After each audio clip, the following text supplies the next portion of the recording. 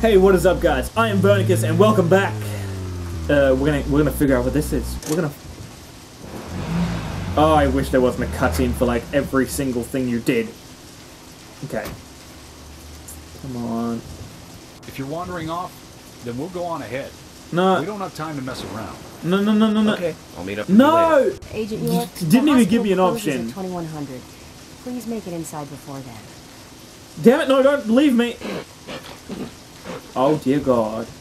Oh dear God. Just, just stay away from it, and then left hand bone. Sweet. That dog better not fucking chase me. God, that was really janky. A human bone? This doesn't look related to the case, but shouldn't I let someone know? Yeah, you should.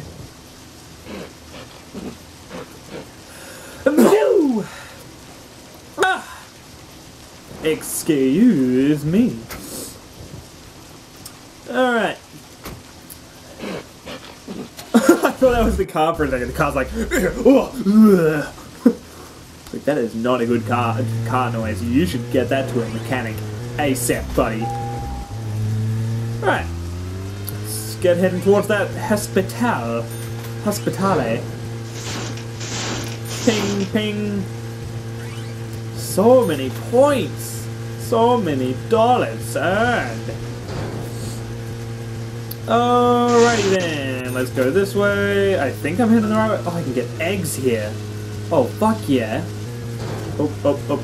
I can even go. Can I go fishing? Holy shit, snacks. Alright. Can I can I drive on grass? I can, eh? Yep. Sweet.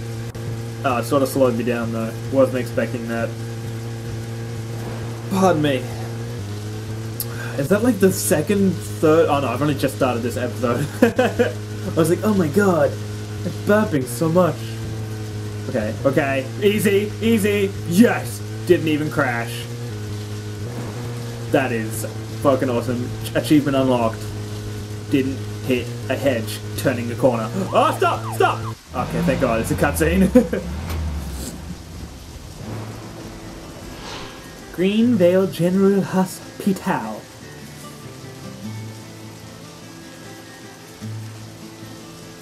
Wait a second. Oh, no, it's not.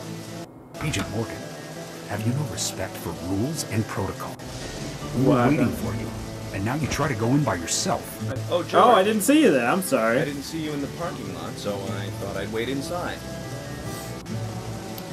Just watch it from now on. Oh, How dare you? Mm-hmm.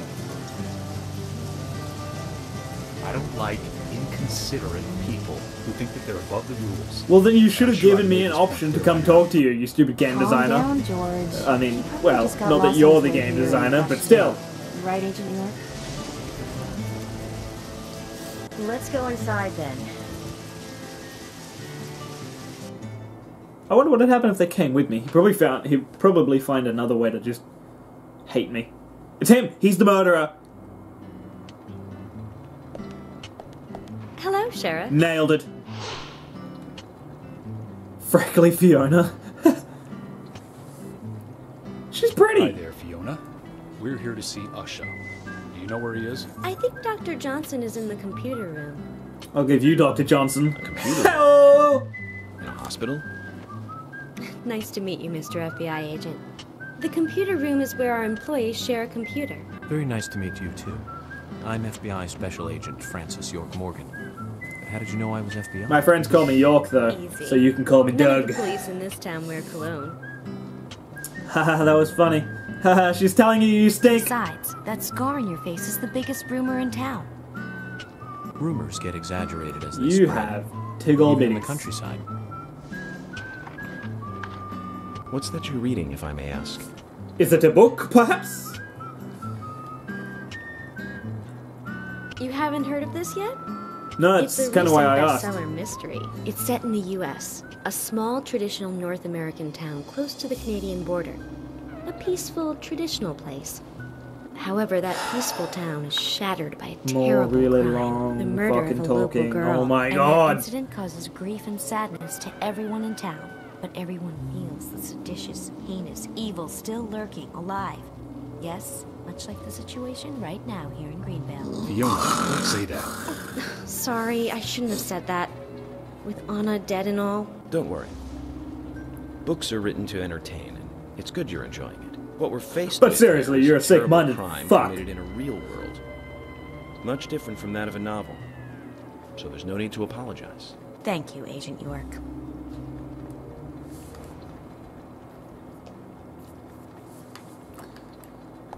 Uh, Emily, what's up? Why? What's going on? Is that really all you have to say? Gosh, where the fuck am I going? Where, where's the marker? Oh, it's over there. Isn't that where I came in from? Oh no. Let's just uh, open this here door. Oh damn it! I should have fucking sprinted into it. Go go go go go go go! Ready, ready, ready. Yeah. We couldn't find him. Night Fiona porn needs book. to check her information. Oh, probably this is Rook, no, I don't dickhead. think so. Does the doctor like playing games by any chance? What do you mean? There's a message on the computer, and a card Oh. Ah. key already set in place. The king passes the rook. Oh god, is this a puzzle? The knight takes a pawn along for the queen. What does that all mean? It's a simple puzzle. Oh, Zack, let's take him up on his challenge. I'm not You can do this, solving. No. Uh-uh. King passes rook. Eh. King passes rook and meets bishop. Knight takes pawn. No. To. wha- Bishop. Mm, mm. Oh, dude, put me there.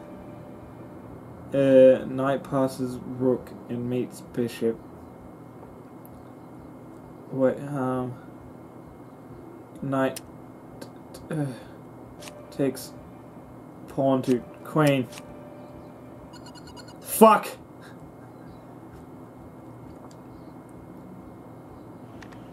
Oh, I only get one go? Zack, something is still missing.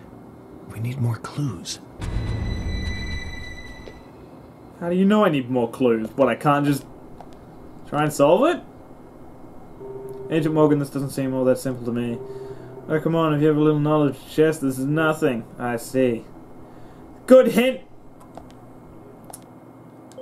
I know it relates to chess pieces, but I don't remember all the names of the pieces. If you look carefully around the room, you'll say, oh my god. That's not the answer, that's just telling you what the pieces are. Oh, is it literally you just have to click on them in order? I thought it was trying to put them in a space. Okay, so king passes. Rook is the castle, isn't it? To meet bishop.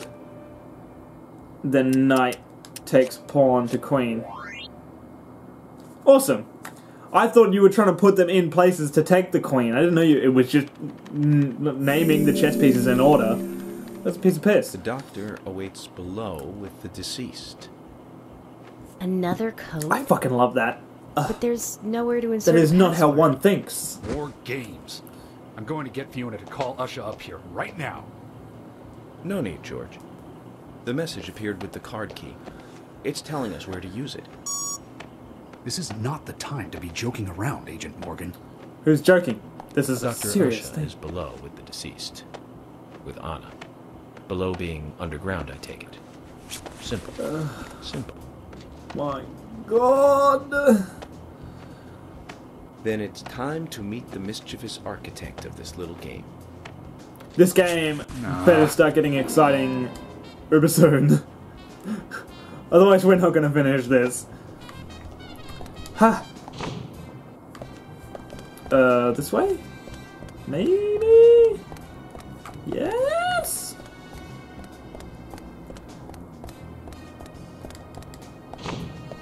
Uh, that's the second.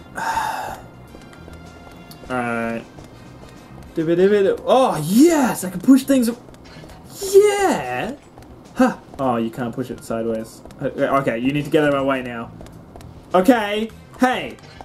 Fuck you. Alright. Making headway. Wait. Oh, it's downstairs. I thought it was pointing to the floor there. I was like, where did I get it? Wait a second. Hold the phone. Is it down here? What the Oh dear god. Hang on, there was a sign over here. Uh, here we go. Uh, dissecting room left. I think that's where he is. Uh, where does this lead? It is locked. Okay. It's not called a dissecting room, is it? um, well, uh, um, oh god. Wait. Wait. Where, the- where the fuck was I go? Where did I come from? Where are the stairs? Are you stairs? You are locked. Oh shit. Uh. Uh. Where was the uh, main room? Oh god. Uh, oh, hello. I apologize. This is not where I meant to be. Uh. That's an exit. Oh, motherfucker. What the shit? Maybe that wasn't an exit back there. I just thought it was because of that green sign. Oh my lord. Where are you taking me? Hey, points. Fuck yeah. this way. Oh, I found it! Nice! Nice! Got it. Alright. About time. Jeebus Christ. Sweet!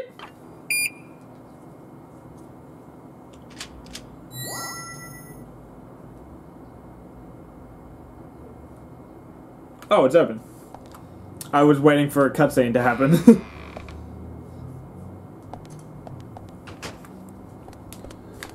uh, what is that other blue light? Oh, it's a telephone. Thank you. Points. Excuse me, doctor. He's like in there slowly, like dissecting someone, and you just barge in. Doctor, I'm looking for. Oh God! I accidentally cut his head off. Usher, sorry to keep you waiting. Ah, you made it.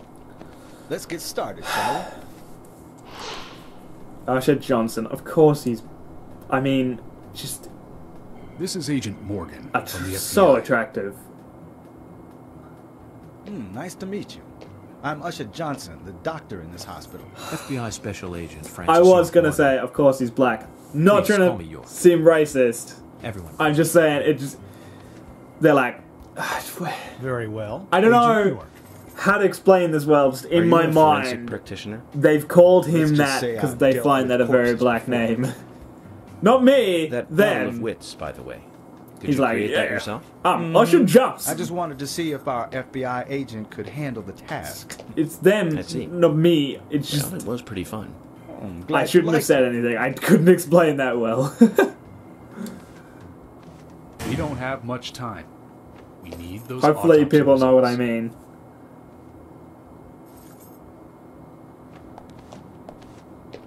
What are you doing? Next time, try challenging us without obstructing an investigation. You've angered the monarch. Yeah, dickhead. It's only a murder case. Jesus. And quite a serious one, might I add. From the onset of rigor mortis, the stiffening of the muscles, the time of death is estimated to be between 20 and 2200 hours. Uh, that's still quite early for such a crime to take place. Note that there are two exterior wounds, Mm-hmm. pressure marks around the neck. and a long So she cut was running from strangled. chest to abdomen. And Blood she had an marks on abortion. right hand tell us she was gripping something round in her That's not right how an abortion works, but whatever. Why are you all looking at your right hand? Her skull is also fractured, but that is unrelated to the cause of death. It probably happened to her after she was killed. Hmm. Hmm. Now, I first thought death by suffocation due to the marks on her neck. But you were wrong. After further investigation, I now have a different conclusion. Alright, what's your new conclusion, Johnson?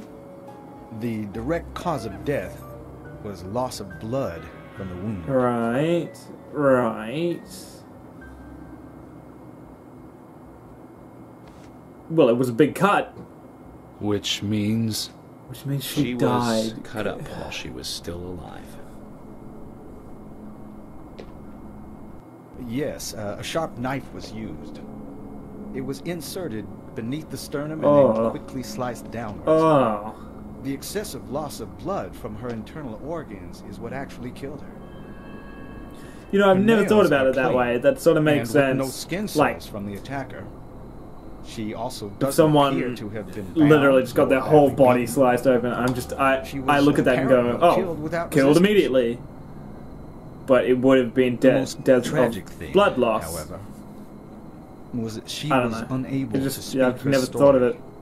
to anyone who could hear her cries.